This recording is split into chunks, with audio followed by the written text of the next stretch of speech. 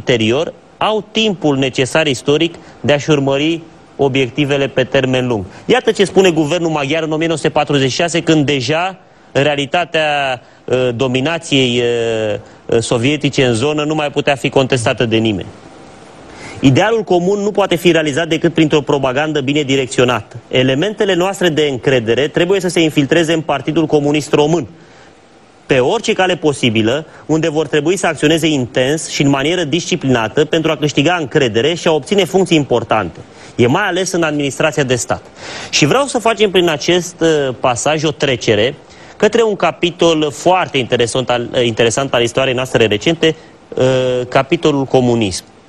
Gheorghe Gheorghiu Dej se instaurează la putere după plecarea regelui Mihai, da, în 1948, și la prima vedere, toată lumea ar putea să spună în cor că a fost un regim impus de tancurile sovietice, tancuri pe care vine Ana Pauker, uh, Walter Roman, uh, uh, Bondarenko, nu? și, și alții, cu divizia Tudor Vladimirescu, Horia Clușca și Cristian și așa mai departe. Începe chiar o epurare a elementelor maghiare, și foarte rusești din uh, elita Partidului Comunist. Iar Ceaușescu în 1968, când are marea lui dovadă de rebeliune față de URSS, condamnând invazia din Ceoslovacia, el n-a făcut-o spontan atunci, ci a făcut-o ca o continuitate a politicii Partidului Comunist, inițiată chiar de către Gheorghe Gheorghiu Dej. Lucru pe care noi, până la apariția cărții dumneavoastră, nu, nu l-am știut foarte bine. Da, asta, de fapt, mișcarele uh, s-a început, sau cel puțin um, ecouri că vor, vor fi astfel de desfășurare.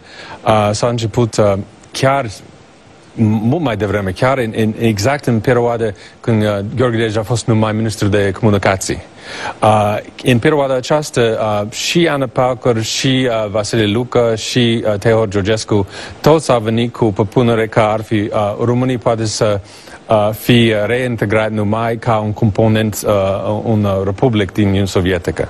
Și a, a fost răspuns ideea aceasta și din partea uh, uh, groză, Uh, dar și din partea DEJ. Și asta este marcat și de la informații militare din timpul acesta care a fost acolo și cu niște confirmare destul de, destul de serioși.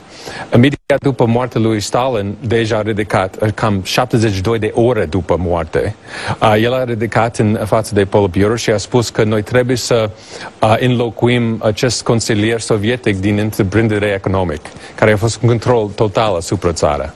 Și aici linia a fost ceva în care a fost, uh, tot timpul comuniștii, din cauza acestor oameni, a fost comunist real și n-a fost niciodată... Uh, e posibil ca uh, a existat o posibilitate pentru o evoluție de, de la comunism în perioada când Dej a fost acolo și cu Mauer, și cu Bodnara, și cu Ceausescu.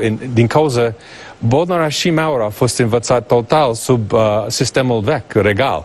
Și ei au avut toate lucrurile acestea care au fost făcute în perioada interbelic și ei, asta a fost parte gândirii lor și din cauza aceasta a fost posibil acest politică externă și de, de, uh, de, de uh, um, externă și de securitate care a avut foarte puțin să facă cu comunism. A fost uh, a fost pus ad nauseam această idee de uh, uh, re, uh, respect reciproc între statele pentru egalitate, suveranitate, independență și neamestecare în politică internă, dar mai mult decât asta a fost subliniat în special în acest așa zis declarație de independență în aprilie 1964, că um, orice relațiile interstatale să fie sănătos trebuie să feri de ideologie.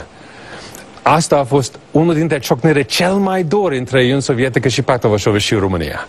Din cauza toți ceilalți a criticat România foarte tare din cauza această abordare lipsită de clasă, care a fost realmente lipsită de clasă, dar a fost cu asta posibil să fac legăturile cu orice stat. Mai mult decât asta, România a scris în aceste declarații ca o obligație sacru pentru toți stat și mici să intre în mediere între statele în conflict.